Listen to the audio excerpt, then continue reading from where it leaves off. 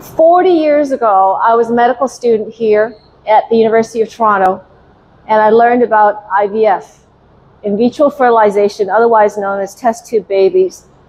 And we're really scared because we're freezing eggs and sperm in these cryogenic facilities and wondering whether we were going to get weird babies out of it.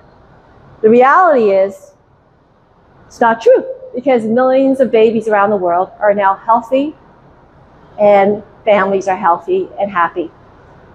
And then when I was an intern right here above me at the University Health Network, also known as Toronto General Hospital, I was part of a brand new liver transplantation team. And I learned that, wow, we needed organs to help people from other people to live.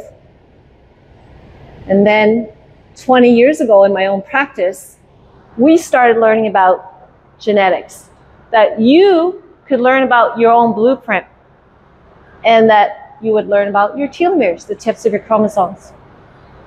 Five years ago, I put my hair follicles, stem cells, into these vats so that I will never age. Now, what is the future now of my hair follicle? Well, here's what I know today.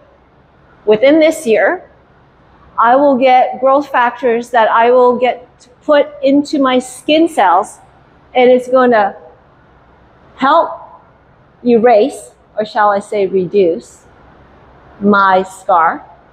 It's going to help reduce or eliminate some of my sun damage and aging skin by lifting it because it's going to stimulate my own collagen in a non-surgical way.